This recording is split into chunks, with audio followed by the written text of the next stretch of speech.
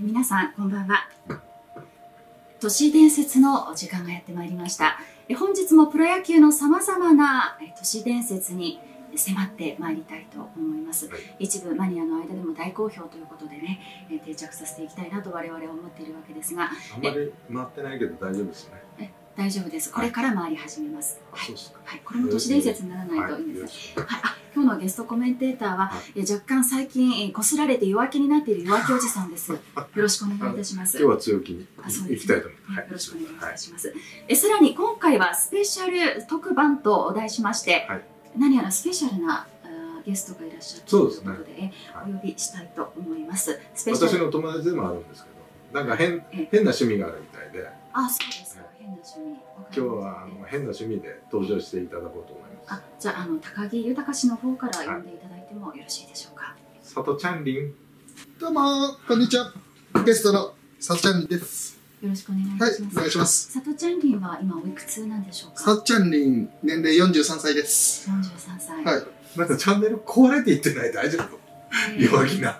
そう弱気おじさん大丈夫ですあかすみません。強気に言ってくださいあ強気に行きましょうでも都市伝説でしょえそうです。そうです出なかったです。都市伝説。コーナー。本当に？よく見てましたけど。めっちゃ面白いじゃないですか。た。いいね。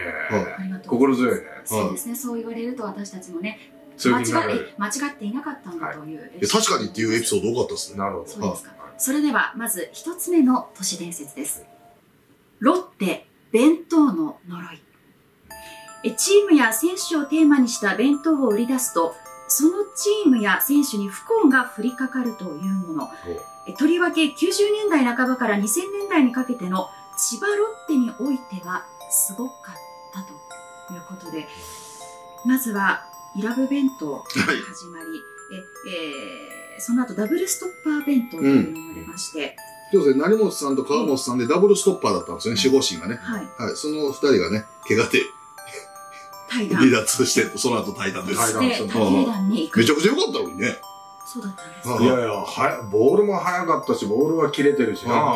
すごかったですけど、弁当を出したためにね。そうですまだまだでも弁当の呪いはこれだけじゃないんです。フランコフルト弁当。フランコ選手。これ不審で退団。黒木弁当故障その後復活ならず引退。小坂スチール弁当。せんえー相手選手のスライディングにより故障。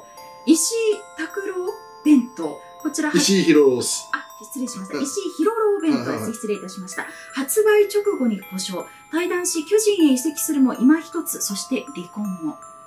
ちょっと待ってください。関係ない離婚だいぶ後じゃないですか？これ、弁当ですか？呪いですね。あそうです完全に呪いですね。そうですね。ローズカツ弁当。ネーミングがちょっとこじつけのような気がしますけどね。発売検討するも本人はキャンプ途中でスピード対談。えー、マリン、まだでも弁当は発売されてないんだよね。え、もうもう企画しただけでアウトっす。あ、アウトなのあ企画しただけでこの呪いはもう始まっているんですよ。えーマリン弁当、バレンタイン弁当、発売直後に5連敗。えー日本ハム大英に歴史的な大会。えーこの時は、うん佐藤はいたよね。いました。こうあの、僕が多分2004年なんで、多分手術して病院いる時に大敗しすぎてライトスタンドで謝ってました。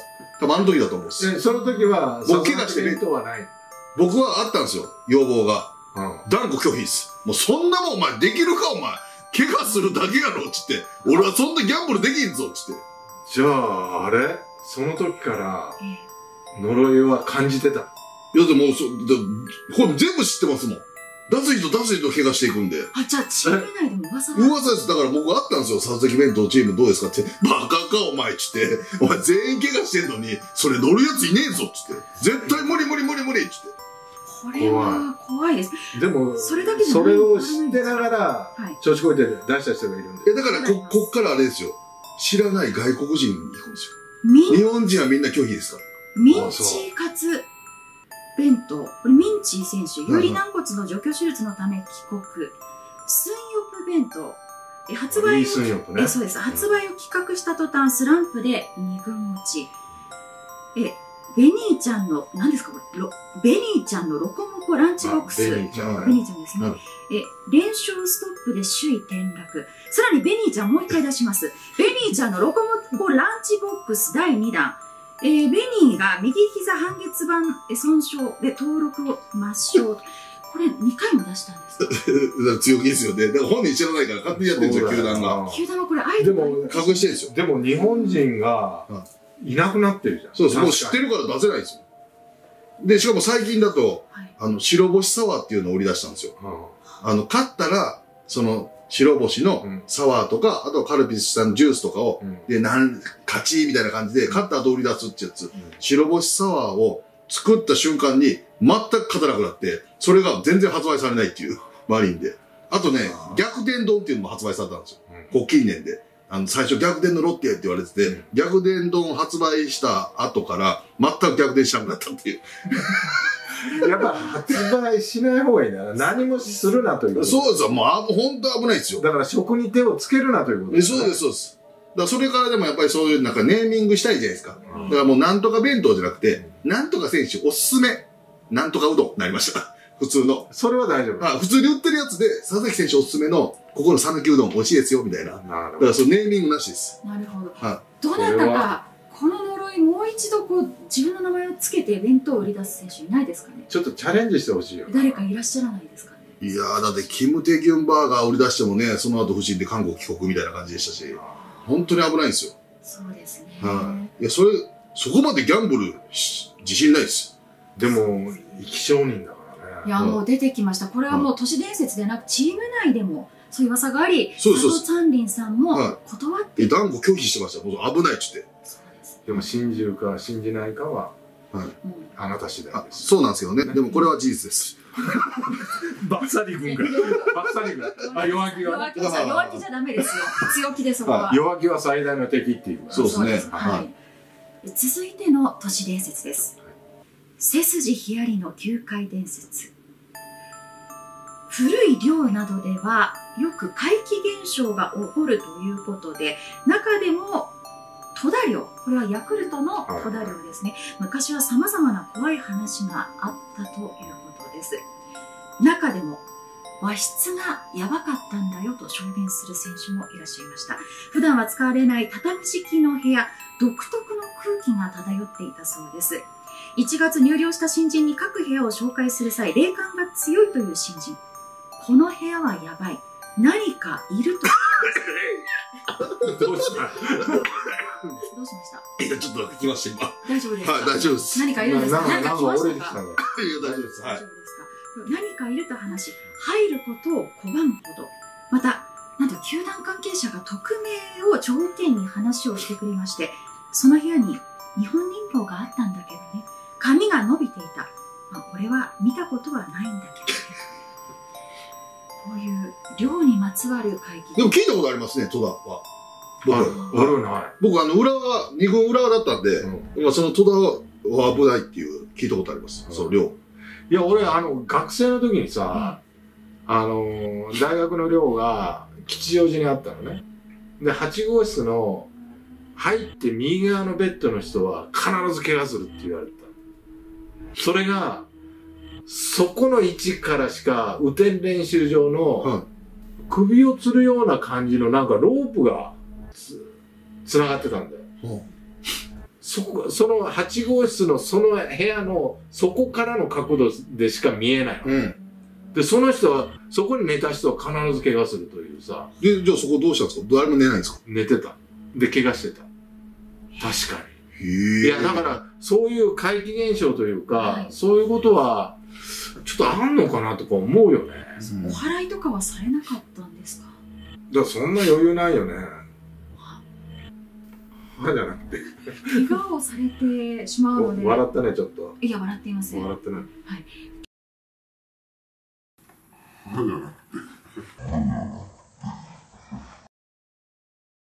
怪我をされてしまうのはやっぱお祓いなどした方がいや、した方がいいんだけど、日高さんが寝てやればよかったじゃないですかそうですよ俺はいけるっつって。はい怪我はしなかったけど、毛は抜けたかもわかんないよね。ああそうですよあ、じゃあ、それ事実ですね。あこれは事実ですねあ、気づかなかったです。い怪我や、また言われるけ怪我はなんど。か番組戻せ。怪我は岩手さん あ、すみません。はいいや、強気に勝負していきましょうね。大体だって一つ言っていいですか？はい僕、何も紹介もされてなくて、このままですけど、分かってくれてるんですかね？見てる人。絶対わかるでしょ。こうなんでこんな顔してるのみたいな。あ、そうだな。アジアの宝石ですから宝石アジアの宝石里三輪。まああのね、はい。里崎チャンネルで、ええあの、ファン感謝デーということで、ええこの、俺と佐藤が女装をして出るというね。はい。どっちが勝ったかっていうのやるどっちが勝ったか。はでそれあるんで、ちょっと見てくださいね。うんあの、いきなりやってたらね、わかんないですもんね。こいつ何やってんねんみたいなねそ。うですよね、思われます。は足、足が。まあでも、この、こういうことは、はい。まあ、ある程度、球団、なんか、各所で、そう言われることはあるよね。例えば寮じゃなくても、例えば球場の中の、ありました？あります球場とか、あとは宿舎とか。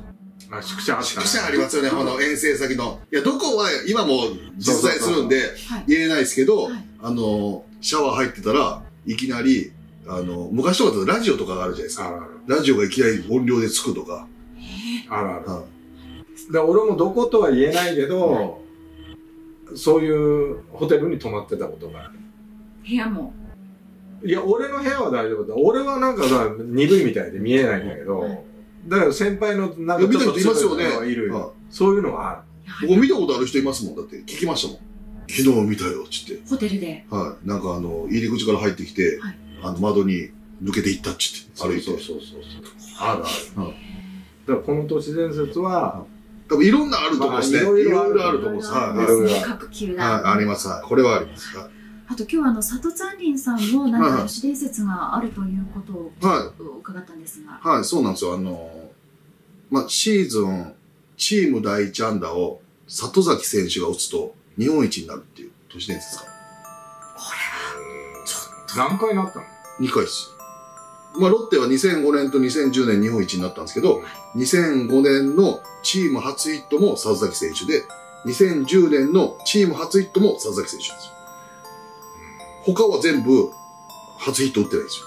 シーズン。チーム。でも初ヒット来るまでにさ、結構時間あったでしょ。はい。だから、何番と何番って2005年は、多分、6番とか、そこら辺ぐらいだったんですけど、ね。